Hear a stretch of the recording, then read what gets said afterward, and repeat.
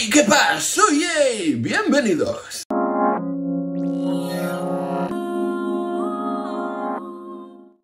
Buenas a todos queridos youtubers, bienvenidos a un nuevo vídeo. Hoy os voy a hablar de una peliculita que me encantó, que me gustó mucho. Y así que bueno, qué mejor que después de un maravilloso día de playa, venir aquí para estar con todos vosotros y aumentar un poquito más el número de vídeos de mi lista de películas random. Aquí podéis encontrarla, tenemos diferentes pelis, echadle un vistazo. Y bueno, he de decir que cuando hablo de randoms no quiere decir que sean malas películas, sino que obviamente cuando no están dentro de una saga como puede ser Marvel o algo por el estilo, pues bueno, estarán dentro de esta lista de reproducción para que ninguno se lo pierda. Ahora vamos al lío.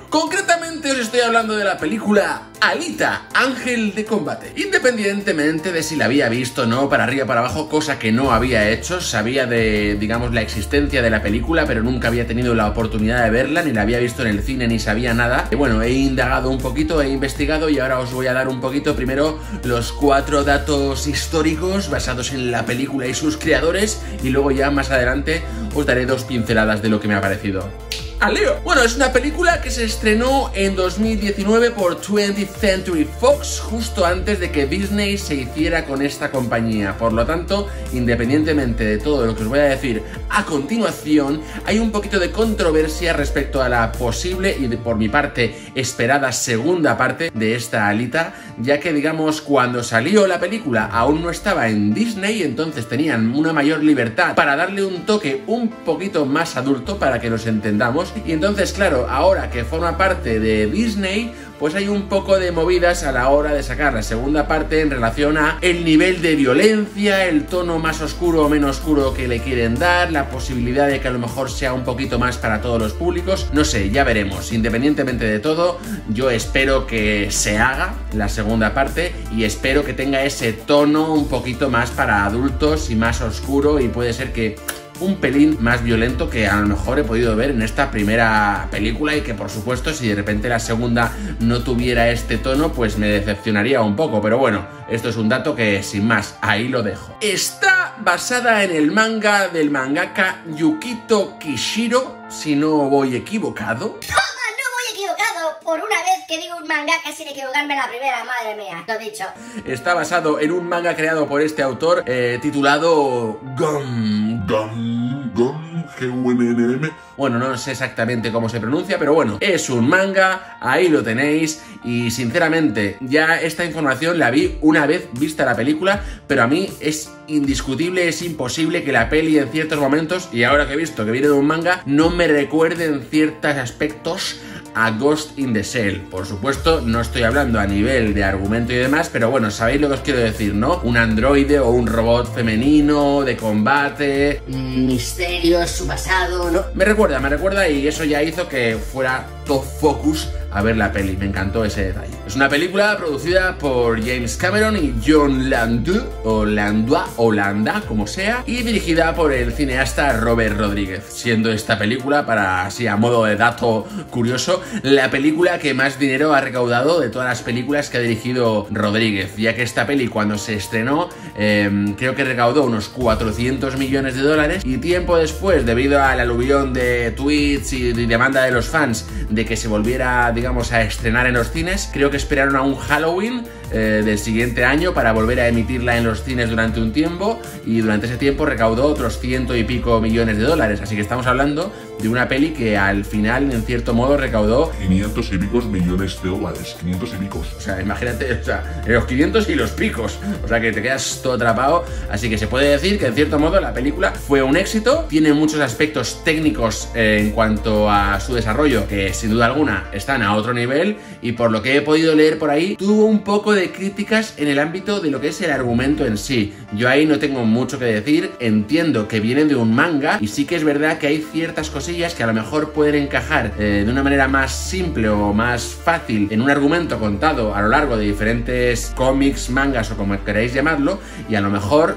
dentro de lo que es un film puede, digamos, quedar un poco raro o no tener, digamos, la paciencia para que todo encaje eh, mejor. Repito y recalco, yo no me he leído el manga, una vez vista la película, mi intención es puede que en el futuro hacerme con estos eh, mangas y a ver a ver por dónde van los tiros, pero es lo que digo, se le criticó un poco el argumento a mí. Bueno, hay cosillas que no me molan tanto que ya comentaré, pero lo que es la película en sí a mí me, a mí me fascinó, yo disfruté como un niño pequeño. Y en cuanto al reparto, bueno, pues tenemos a Rosa Salazar, que yo la desconozco, interpretando a Alita, luego tenemos a Christoph Waltz, interpretando al doctor, al profesor Ido, eh, si no sabéis quién es, pues bueno, lo habréis visto en Malditos Bastardos, o es el, el también de Django, eh, bueno, por ahí ya le recordaréis. Luego tenemos a la maravillosa Jennifer Connelly interpretando a Sherin, Sherin, bueno, la exmujer de, de Ido y bueno, habrá hecho mil cosas, yo siempre la recordaré como la novieta de Jared Leto en Requiem por un sueño. Luego, por supuesto, tenemos a Mahershala Ali, el futuro Blade de Marvel Studios, interpretando a Vector, uno de los villanos jefes, digamos, un poco también de la mm, seguridad de la ciudad de la película y también un poco responsable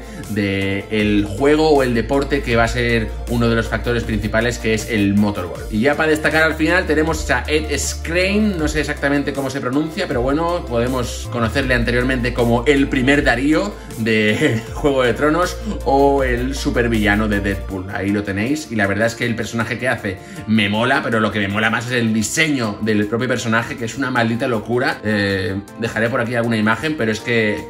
yo ya os digo, de no tener ningún tipo de información de la película, a ver estos villanos, es que me he quedado todo loco, flipante. Y ya por último, una pequeña participación que yo flipé, ya que aparece prácticamente, no sé qué deciros, un minuto y medio en esta primera película, por eso entiendo y doy por hecho que la segunda película tiene que ser una realidad, es el actor Edward Norton que interpreta a Nova, que digamos que sería el super mega villano eh, al cual aspiramos a derrocar en el futuro, que es que ya os digo, en esta película mm, tiene una participación ínfima, más allá de a lo mejor diálogos, que sí que él habla o tiene diálogos con los personajes de la película, pero lo que es su apariencia como personaje, creo que un pequeño flashback y poco más. La verdad es que Edward Norton estoy seguro que tiene que aparecer más y tiene que haber una segunda parte porque, bueno, es que el cliffhanger ahí está. Y a modo de resumen rápido, ¿de qué va Alita Ángel de Combate? Pues bueno, básicamente estamos en Iron City, que es una especie de ciudad chatarrera, chunga, asquerosilla que hay en un futuro en el 2500 y pico, 300 años después de que la Tierra sufriera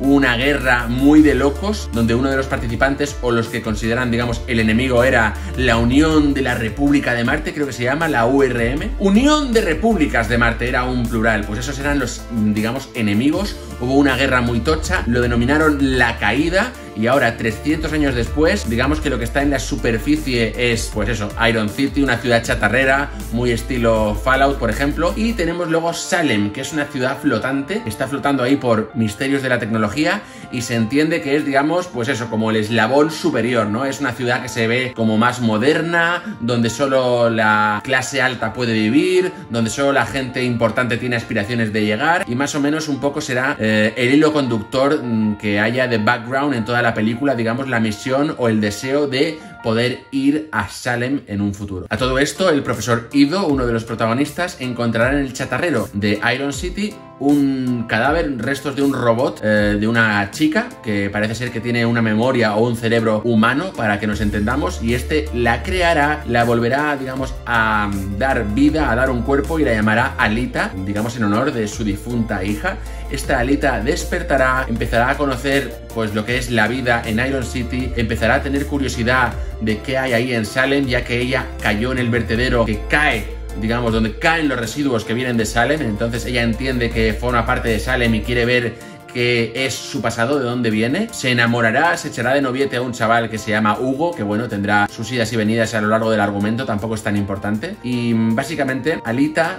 a raíz de conocer a Hugo, se enamorará, entenderá que el sueño de Hugo es ir a Salem, ella digamos, intentando descubrir más cosas sobre su pasado, encontrará una nave antigua perteneciente a la URM del pasado donde encontrará un cuerpo biónico robótico mucho más avanzado que el que ella tiene en estos momentos. Entre idas y venidas de la película, ella terminará con ese cuerpo y digamos que se destapará eh, el concepto de que ella era una berserker, era parte del ejército de la URM en el pasado. Y digamos que ahí está un poco la controversia, ¿no? Que ella era parte de los enemigos, ahora están en el presente, han pasado 300 años, ella vuelve a la vida, se hace también una cazadora guerrera, que es una caza recompensas, porque ella quiere ir ganando dinero poco a poco para intentar conseguir viajar a Salem, luego más adelante, a medida que conoce el Monster Ball, que es digamos el, el juego o el deporte que está de moda ahí en Iron City, ella entenderá que si se hace la campeona de Monster Ball, tendrá digamos pase directo o ganará la pasta suficiente para poder costearse un viaje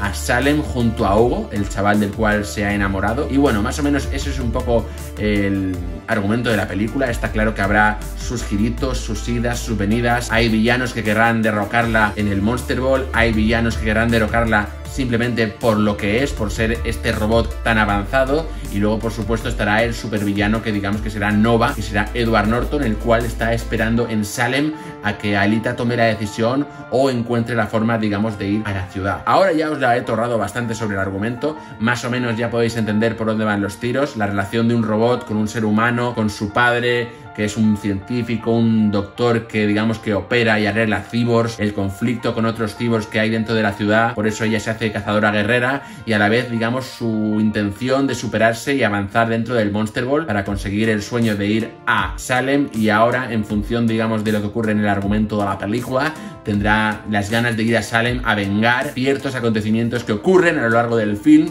querrá ir a Salem para darle pal pelo a Edward Norton y su querida. No sé si me he explicado, no sé si se ha hecho pastoso, pastoso. Pero bueno, más o menos creo que he hecho un resumen rápido, bastante amplio y corto de lo que es la peli en sí. Y ahora ya voy a hablaros un poco de lo que he sentido viendo la película. Es una película que transmite, tiene, digamos que sientes mucha empatía por los personajes, tanto con el profesor que recuerda a su hija difunta, a su exmujer que no pudo, digamos, superar mucho lo que había ocurrido, a Alita como personaje que está, digamos, volviendo a la vida, renaciendo, digamos que quiere saber más de su pasado, te sientes identificado con ella, quieres ayudarla, quieres que ella sepa más. Luego Hugo, el noviete, he de decir aquí, lo dejo ya, iba a decirlo más tarde pero lo suelto ya, para mí es lo peor de la peli, no porque haga nada malo en la película, sino porque el actor en sí, no sé, no me lo he creído, no me ha convencido, entonces ahí al no tener empatía con ese actor, pues sus escenas o los momentos en los que aparecía,